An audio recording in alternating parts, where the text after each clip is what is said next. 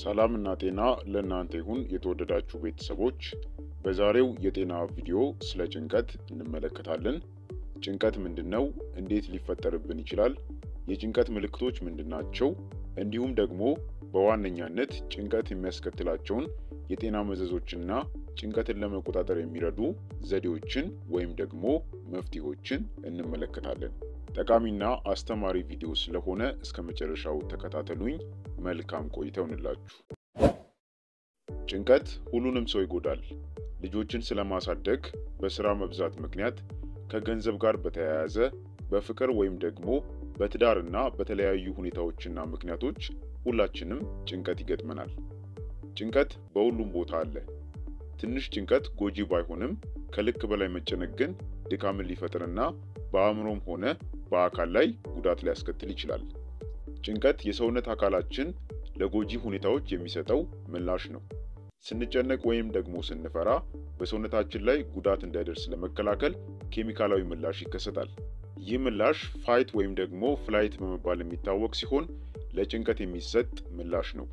በዚህ ጊዜ የልብ ምት ይጨምራል፣ አተነፋፈሳችን ይፋጠናል፣ ጡንቻዎቻችን ይጠነክራሉ፣ እንዲሁም ደግሞ የደም ግፊታችን ይጨምራል።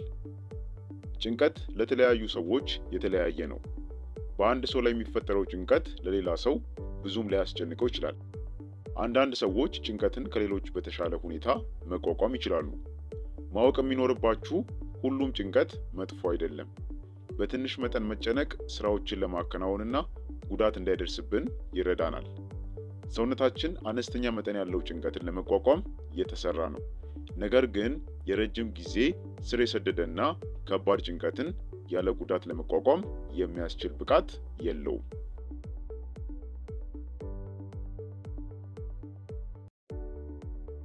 ጭንቀት በሁሉም የሰውነት ክፍሎች ላይ ተጽዕኖ ሊያሳድር ይችላል። ይህም ስሜትን ወይም ደግሞ emotion ን፣ ባህሪን፣ የማሰብ ችሎታን ወይም ደግሞ cognitive capacity ን እና አካላዊ ጤንነትን ይጨምራል።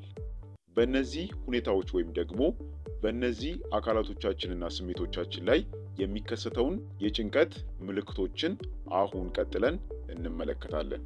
የመጀመሪያው የጭንቀት ስሜታዊ ምልክቶች ናቸው። ማለትም ጭንቀት በ emotion ላይ የሚፈጥራቸው ምልክቶች ማለት ነው። እነዚህ ምንድናቸው?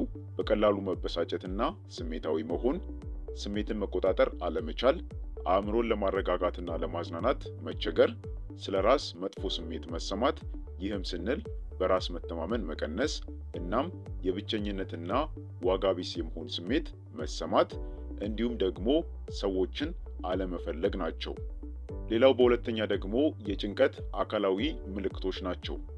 ማለትም ጭንቀት በፊዚካል ላይ ወይም ደግሞ በአካላችን ላይ የሚያሳድረው ምልክቶች ወይም ደግሞ የሚያሳየው ምልክቶች ናቸው። እነዚህ ምንድናቸው? የአቅም ማነስ፣ ራስ ምታት፣ የሆድ ድርቀት፣ ተቅማጥና የማቅለሽለሽ ስሜትን ጨምሮ የሚኖሩ ሌሎች ህመሞች፣ የደረት ህመምና ፈጣን የሆነ የልብ ምት፣ እንቅልፍ ማጣት፣ በተደጋጋሚ በጉንፋንና በኢንፌክሽኖች መጠቃት፣ የወሲብ ፍላጎትና ችሎታ ማጣት፣ ነርቭ ህመምና መንቀጥቀጥ፣ ይህም የጆሮ መጮና በእጅና እግር ላይ የሚፈጠር ላብ፣ የአፍ መድረቅ፣ ለመዋጥ መቸገር እንዲሁም ደግሞ የጥርስ መፋጨት ናቸው። እነዚህ ጭንቀት በአካሎቻችን ላይ የሚፈጥራቸው ወይም ደግሞ የሚያሳያቸው ምልክቶች ናቸው። ሌላው በሶስተኛ ደግሞ የጭንቀት ምልክቶች በአእምሮ ላይ የሚታዩ ናቸው። ይህም ማለት ጭንቀት በ cognitive ወይም ደግሞ በአእምሮ ላይ የሚያሳድረው ምልክቶች ወይም ደግሞ የሚያሳየው ምልክቶች ማለት ነው። እነዚህ ምንድናቸው? በቀጣይነት መፍራት፣ የሀሳብ መበታተን፣ የመርሳትና ነገሮችን organize የማድረግ ችግር፣ ትኩረት ማድረግ አለመቻል፣ ውሳኔ መወሰን አለመቻል እንዲሁም ደግሞ አሉታዊ ወይም negative ነገሮችን ብቻ ማየትና ማሰብ ናቸው። ሌላው በአራተኛ የምናየው ደግሞ ጭንቀት በባህሪ ላይ የሚያሳድራቸው ምልክቶች ወይም ደግሞ የሚያሳያቸው ምልክቶች ናቸው። እነዚህም በምግብ ፍላጎት ላይ የሚኖር ለውጥ ማለትም ምግብ አለመብላት ወይም ደግሞ ከልክ በላይ መብላት ሊሆን ይችላል።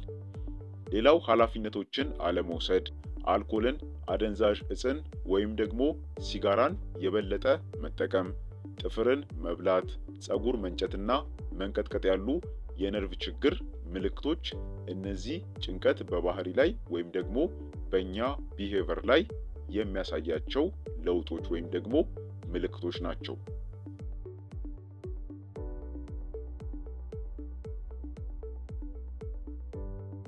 ጭንቀት የሚያስከትላቸው በርካታ የሆኑ የጤና መዘዞች ወይም ደግሞ የጤና ቀውሶች አሉ።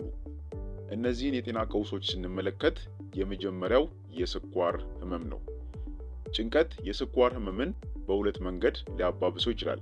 አንደኛ እንደ ጤናማ ያልሆነ አመጋገብ እንዲኖር በማድረግና ሁለተኛ ደግሞ በቀጥታ በደም ውስጥ ያለውን የስኳር መጠን እንዲጨምር በማድረግ ነው። ይህ በተለይም አይነት ሁለት የስኳር በሽታ ባለባቸው ሰዎች ላይ በጣም የተለመደ ይሆናል። ስለዚህም ጭንቀት በዋነኛነት ለስኳር ህመም እንዲሁም ለስኳር በሽታ ሊዳርገን ይችላል ማለት ነው። ሌላው በሁለተኛ ጭንቀት የአስም በሽታ መንስኤ ነው። ጥናቶች እንደሚያሳዩት ጭንቀት የአስም በሽታን ሊያባብስ ይችላል። ጭንቀት በሚሰማን ጊዜ አተነፋፈሳችን ይለዋወጣል። አስም ባይኖርብንም ማለት ነው። ጭንቀቱ ሳይሆን በጭንቀቱ ምክንያት የሚፈጠረው የአተነፋፈስ ለውጥ ለአስም የሚዳርገን ይሆናል። ይህም ጡንቻዎች እንዲኮማተሩ በማድረግ አተነፋፈሳችን እንዲፋጠን ያደርጋል። በምንጨነቅበት ጊዜ የጭንቀት ሆርሞኖች በከፍተኛ መጠን ይጨምራሉ። እነዚህም ሆርሞኖች የአስም በሽታን ያባብሱታል። ሌላው በሶስተኛ ደረጃ ጭንቀት የልብ በሽታን ያስከትላል። ጭንቀት የልብ ምትንና የደም ፍሰትን ይጨምራል። እንዲሁም ደግሞ የኮሌስትሮል እና የ triglyceride መጠንን በደም ውስጥ ይጨምራል። ይህም ታዲያ ለልብ በሽታ ዋነኛ የሆነ መንስኤ ነው። ማጨስና የሰውነት ክብደት መጨመር በተዘዋዋሪ አንዱ ለልብ በሽታ መንስኤ ናቸው። በተለይም የልብ በሽታ ያለባቸው ሰዎች ጭንቀትን በተለየ መልኩ ማስወገድ ይኖርባቸዋል። አራተኛው ጭንቀት ከመጠን ያለፈ ውፍረት ያስከትልብናል። በሆድ ውስጥ ያለው ከመጠን ያለፈ ስብ ከእግር ወይም ደግሞ ዳሌ ላይ ካለው ስብ ይልቅ ለበሽታ የሚዳርግ ነው። ከፍተኛ ጭንቀት ያለባቸው ሰዎች በሆዳቸው አካባቢ የስብ መከማቸት ያጋጥማቸዋል። ጭንቀት የኮርቲሶል ሆርሞን እንዲጨምር ያደርጋል። ይህም ደግሞ በሆድ ውስጥ የሚከማቸውን የስብ መጠን ይጨምራል። አምስተኛው ጭንቀት ለራስ ምታት ይዳርጋል። ይህ ሁላችሁም የምታውቁት ነው። ጭንቀት ለራስ ምታት ከሚያጋልጡን በጣም ከተለመዱት ቀስቃሽ ሁኔታዎች ውስጥ አንዱ ነው። ራስ ምታት የሚከሰተው በአእምሮ ውስጥ የሚገኙት neurotransmitters የሚባሉት ኬሚካሎች ላይ ለውጥ ሲፈጠር ነው። በእነዚህ ኬሚካሎች ላይ ለውጥ ከሚፈጥሩት ምክንያቶች አንዱ ደግሞ ጭንቀት ነው። በስድስተኛ ደግሞ ጭንቀት ለድብርት ወይም ደግሞ ለድባቴ ይዳርገናል። አንድ ጥናት እንዳመለከተው ጭንቀት ያጋጠማቸው ሰዎች ዝቅተኛ ጭንቀት ካለባቸው ሰዎች ይልቅ ለድብርት የመጋለጥ እድላቸው ከፍ ያለ ነው። ይህ የሚታወቅ ነው፣ ጭንቀት በራሱ ድብርት ስለሆነ ማለት ነው። ሰባተኛ ደግሞ ጭንቀት የጨጓራ በሽታን ያመጣል። ጭንቀት የጨጓራ ቁስለት አያመጣም። ይሁን እንጂ የጨጓራ ህመምንና ቃርን ሊያባብስ ይችላል። ምክንያቱም ጭንቀት ምግብ በምግብ ልመት ስርዓት አካላቶች ውስጥ በሚያደርገው ጉዞ ላይ ተጽዕኖ ያሳድራል። በዚህ ምክንያት ለድርቀት፣ ተቅማጥ፣ ለአንጀት ቁስለት ላሉ በሽታዎች ሊዳርገን ይችላል። በስምንተኛ ደረጃ ደግሞ ጭንቀት የመርሳት በሽታን ያመጣል። ጭንቀት የአልዛይመር በሽታን ሊያባብሰው ስለሚችል የአንጎል ቁስሎች በፍጥነት እንዲፈጠሩ ያደርጋል። አንዳንድ ተመራማሪዎች ጭንቀትን መቀነስ የበሽታውን እድገት የመቀነስ አቅም እንዳለው ይገምታሉ። ዘጠነኛ ጭንቀት እርጅናን ያፋጥናል። ጭንቀት በዕድሜ ላይ ተጽዕኖ አለው። ጭንቀት ዕድሜን ከ9 እስከ 17 ዓመት በማፋጠን እርጅና እንዲከሰት ያደርጋል። ጭንቀት የ oxidative stress ን ይጨምራል። የ oxidative stress ደግሞ ሴሎቻችንን፣ ፕሮቲኖችን እንዲሁም ደግሞ ዲኤንኤን ያጠፋል ወይም ደግሞ ይገድላል። ይህም ታዲያ እርጅና እንዲፋጠን ምክንያት ነው። በአስረኛ ደግሞ ጭንቀት ሞትን ያፋጥናል። የሚናደዱና የሚጨነቁ ሰዎች ቶሎ ይሞታሉ ሲባል መቼም ሰምታችኋል። ጭንቀት በሚፈጥረው የሆርሞን ለውጥ ምክንያት በልብ አሰራር ላይ ተጽዕኖ አለው። ይህም በአንዴ ባይሆንም በጊዜ ሂደት ልብን ይጎዳል። በዚህ ምክንያት ለሞት ይዳርገናል። ስለዚህም ልክ አልኮልንና ትንባሆን ማቆም እንዳለብን ሁሉ ጭንቀትንም የምንቀንስ ከሆነ ረጅም ዕድሜ የመኖር እድል ይኖረናል። ከዚህም ባለፈ ጭንቀት በሴቶች ላይ የተለያዩ የሆርሞን ለውጦችን በመፍጠር የወር አበባን ያዛባል። የወር አበባ ተዛባ ማለት ደግሞ የማርገዝ አቅማቸውን ወይም ደግሞ የማርገዝ ችሎታቸውን ይገተዋል ወይም ደግሞ ይቀንሰዋል ማለት ነው። እነዚህ በዋነኛነት ጭንቀት የሚፈጥራቸው አደጋዎች ወይም ደግሞ የጤና መዘዞች ናቸው። ይህ ብቻ አይደሉም። ከዚህም ባለፈ በርካታ የጤና ጠንቆችን ያመጣብናል።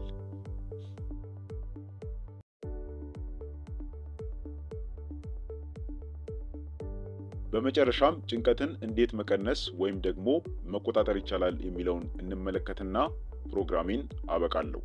ጭንቀትን መቆጣጠር በርካታ የጤና ጠቀሜታዎች አሉት። ለዚህም የተለያዩ ዘዴዎች አሉ። እነዚህን ጭንቀትን ለመቆጣጠር የሚረዱ ጠቃሚ ዘዴዎችን ወይም ደግሞ መፍትሄዎችን አሁን ቀጥለን እንመለከታለን። ጭንቀትን ለመቆጣጠር ማድረግ ያሉብንን ነገሮች ስንመለከት መደበኛ የአካል ብቃት እንቅስቃሴ ማድረግ ይኖርብናል።